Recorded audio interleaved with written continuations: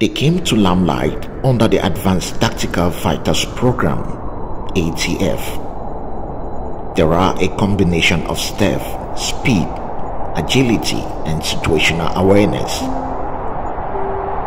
The Lockheed Martin F-22 Raptor the F-22 Raptor is a fifth-generation multi-role, single-seat twin-engine supersonic all-weather stealth fighter aircraft developed for the United States Air Force. It was manufactured by Lockheed Martin Aeronautics, Boeing Defense, and Space and Security. It took its first flight on the 7th of September 1997 and was introduced in the United States of American Air Force in 2005. Designed as an air superiority fighter, the F-22 Raptor also incorporates ground attack systems, electronic warfare, and signal intelligence capabilities.